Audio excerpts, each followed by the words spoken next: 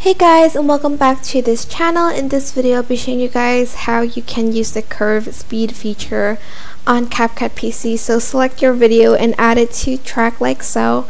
Go to speed and go to curve instead of normal and just choose which one you want to add to your video.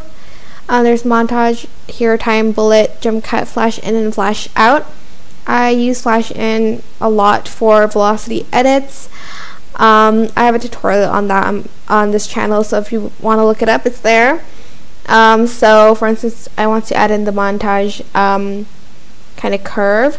Just select it, select smooth slow-mo, and choose optical flow, and just wait for it to process. It's going to take longer if you choose this um, one. You can also customize it yourself. I'm just going to show you after um, this is completed. So just a few seconds. This is what it's going to look like. And that is basically a montage kind of curve speed. That's what it should look like. And I'm just going to go to none if you want to delete it. So press none instead um, on the curve. And if you want to customize the curve speed, just select customize and here you can kind of create your own kind of curve.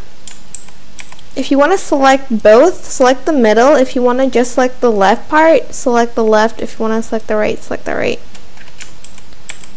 So I'm just going to show you like if you want to make like a curvy speed